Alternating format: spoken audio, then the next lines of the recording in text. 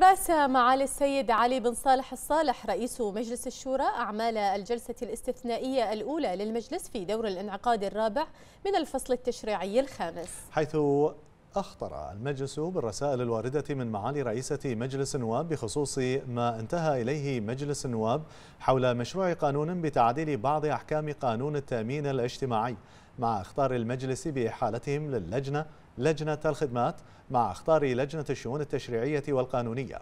ثم أخذ المجلس رأيه النهائي بالموافقة على مشروع قانون بتعديل المادة 231 من قانون العقوبات الصادر بالمرسوم بقانون رقم 15 لسنة 1976 بعدها وافق المجلس على توصية لجنة الخدمات وذلك نداء بالاسم حول المرسوم بقانون رقم 21 لسنة 2020 بشأن صناديق ومعاشات التقاعد في القوانين والأنظمة التقاعدية والتأمينية والتي تضمنت توصية اللجنة بالموافقة عليها من حيث المبدأ حيث يهدف المرسوم بقانون لتحسين الوضع المالي للصناديق التقاعدية ومواجهة العجز الاكتواري بحزمة من الإصلاحات والإجراءات والتدابير العاجلة.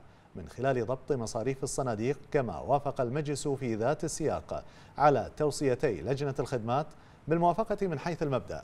على كل من مشروع قانون بتعديل بعض أحكام القانون رقم 13 لسنة 1975 بشأن تنظيم معاشات ومكافآت التقاعد لموظفي الحكومة. المرافق للمرسوم رقم 4 لسنة 2021 ومشروع قانون بتعديل بعض أحكام قانون التأمين الاجتماعي الصادر بالمرسوم بقانون رقم 24 لسنة 1976 المرافق للمرسوم رقم 5 لسنة 2021 اللذين يهدفان لضمان استدامة الصناديق التقاعدية والتأمينية.